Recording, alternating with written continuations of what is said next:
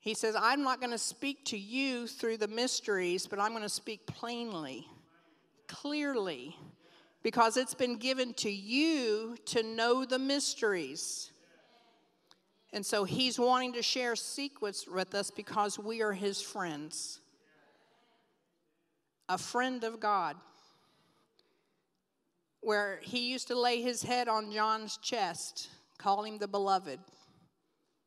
Well, he's coming to us in the night seasons into our bedchambers, and he's creating specific calling dreams for us so that we are able to step into everything that he has called us to. He's showing us very clearly. Jeremiah 29 11 says, I know the plans that I have for you to prosper you, to bless you, to increase you.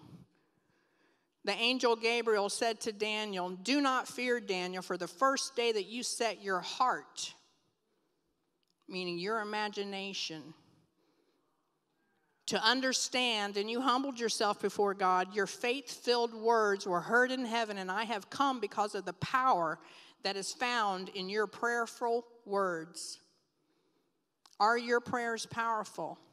Are you executing and releasing faith with it? Because it's impossible to please God without faith. If we're just saying words, but we're not expecting and we're not releasing it with faith, we're not getting through. God wants us to know that our prayers have the power to move both heaven and earth. The angelic realm cannot just insert itself. It has to wait for us to invite it in to battle and war with us. And this morning, we sent legions over to Israel and they will feel the change. They will feel the power of that. They will feel that, and lives will be spared, and anointings will come, and the angels are supercharged because they're thinking, Yes, we've been commissioned, we've been sent out to battle on behalf of God's beloved people. And that's why God is calling Gentile and Jew to be that one new man. And where the spirit of unity is, there is the commanded blessing.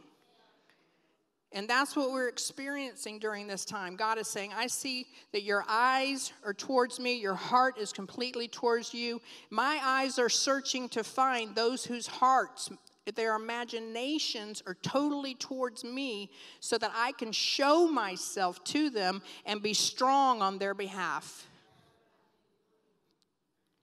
God is looking for his remnant people that he wants to operate through so that he can be able to demonstrate himself in the greater works dimension.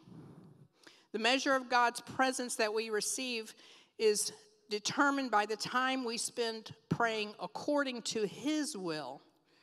When Jesus was facing death in the garden, he asked God if there's any other way, but nevertheless, not my will, but yours. And so when we can discern the heart of God and we find out what his perfect will is, and we come into a yes and amen agreement, then all of heaven stands at alert to accomplish that because it's already accomplished in the heavenly realms. Everything that happens here on the earth has already happened in the spiritual. And so God is looking for us to begin to release that decree during the era of the mouth. When we search out and encounter the depths of God, it is then that we realize we are destined to be in Christ. And when you realize you're already in Christ and Christ is in you, there's a new level of confidence that comes because you are hidden in Christ. So you're not even the one taking the shots. You are hidden in Him. When you speak, the enemy hears Christ's voice speaking through you. And so when we use the word of God, every time our eyes see God in prayer, we are envisioning his light that shines on our path, giving us clarity. So all around us, we observe that God's creation is pregnant.